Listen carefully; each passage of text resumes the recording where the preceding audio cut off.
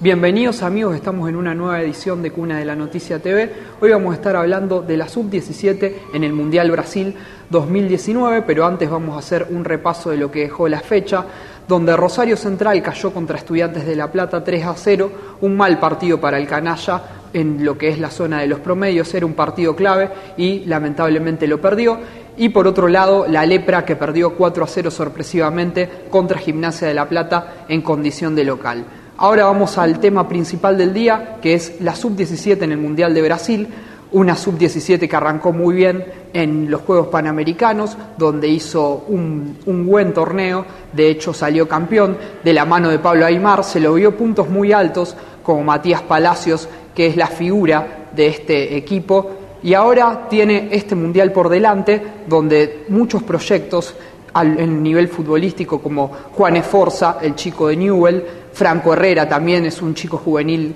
que actualmente se encuentra en, el leproso y por el lado del canalla no se encuentra ningún jugador en, esta, en este mundial. Pero eh, Pablo Aymar está haciendo un gran trabajo con este equipo, de hecho, como dije anteriormente, salió campeón del Panamericano,